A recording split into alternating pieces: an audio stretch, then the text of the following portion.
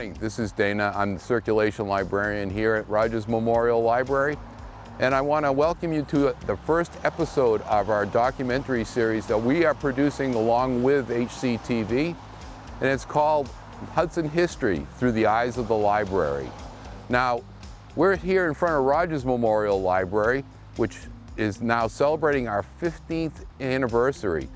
We're going to look at the history, the rich history of Hudson in these documentaries. I was a resident of Hudson from 1960 to 1984.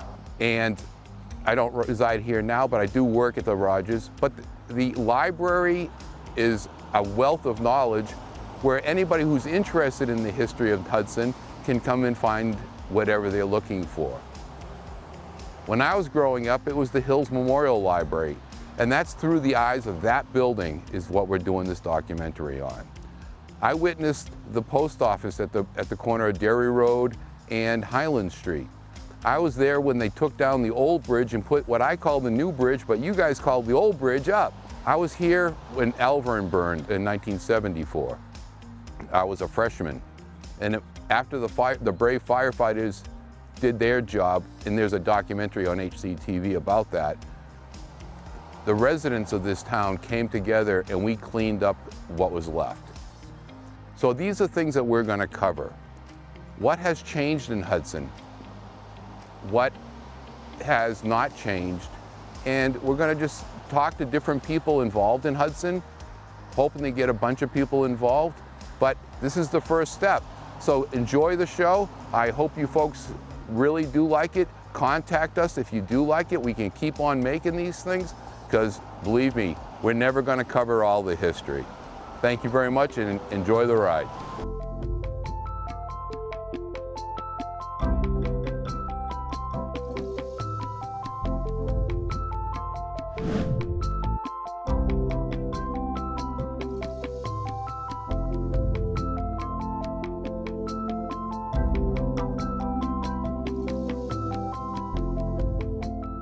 Okay, so here we here we are at the inside Rodgers Memorial Library. We have a great section on Hudson history. This is the best place to start your search when you are looking to do research on Hudson.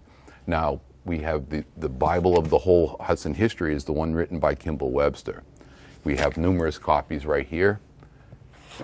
That's your best place to start.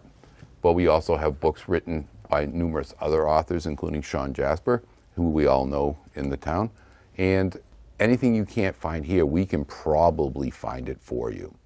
But we also have a reference area downstairs where some of the old documents are held. There's maps down there, there's records down there, there's old newspapers down there.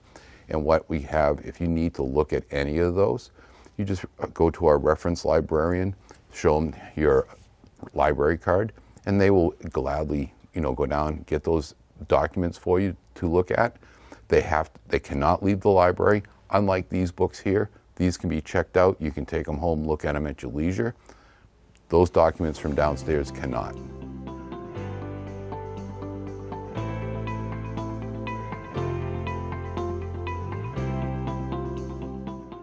Once again, we're here at uh, Rodgers Memorial Library, and we're down in the basement where all the old documents are stored.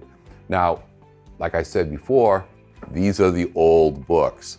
So these are the types of books we have history from all over the area, military, the military documents, all sorts of things down here. This is where you would ask the reference librarian if there's something specific you want to look at. In these cases on to my right, these are the old maps. These are the map drawers. There's quilts and old quilts. There's maps right in here. So of all, anything that you're looking for, we probably have it. A lot of the material is what was stored at the old Hills Memorial Library as far as documentation goes. So we have it. Use it, please. It's a wealth of knowledge. It's here for you guys to use. But that is part of Hudson history. It's here. It's down here. Take advantage of it.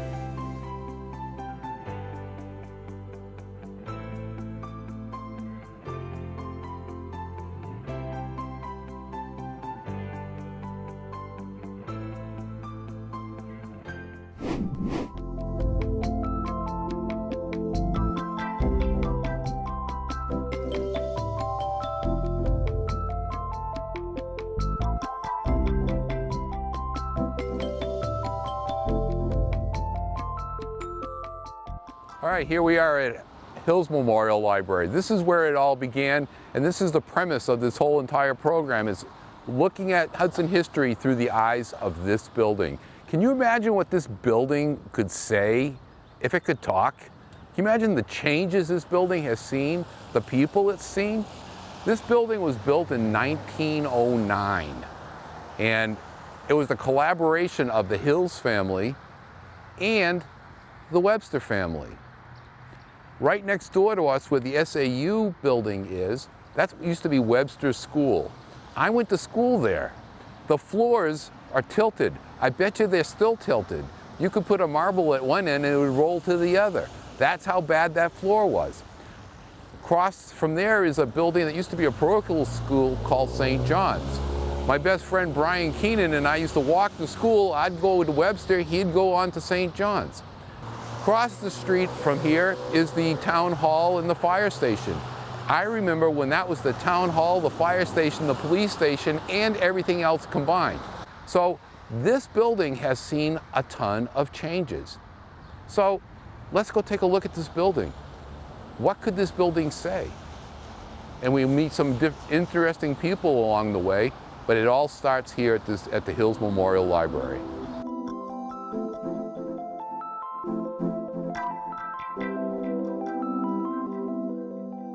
We're now inside the Hills Memorial Library.